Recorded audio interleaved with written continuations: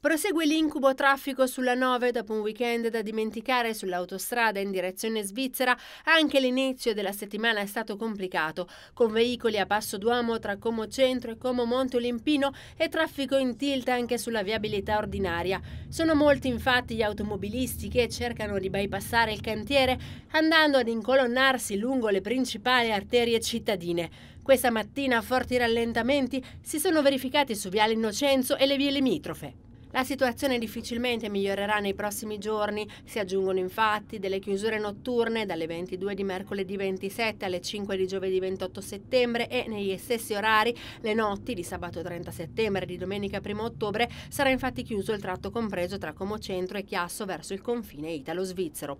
Tutti i veicoli dopo l'uscita obbligatoria allo svincolo di Como Centro dovranno percorrere la viabilità ordinaria, quindi via Cecilio, via Pasquale Paoli, via Napoleona, via L'Innocenzo XI, via Borgovia Vico e via Bellinzona fino a raggiungere la dogana cittadina. Sarà inoltre chiuso il tratto compreso tra Lago di Como e l'allacciamento con la 59 tangenziale di Como verso Lainate. In questo caso, dopo l'uscita obbligatoria allo svincolo di Lago di Como, i veicoli leggeri dovranno utilizzare il ramo Maslianico Ponte Chiasso e proseguire su via Asiago, via Brogeda, via Bellinzona, via Borgovico, via Le Masia, via Regina Teodolinda, via Napoleona, via Paoli e poi la provinciale 35 per rientrare sulla 9 a Fino Mornasco.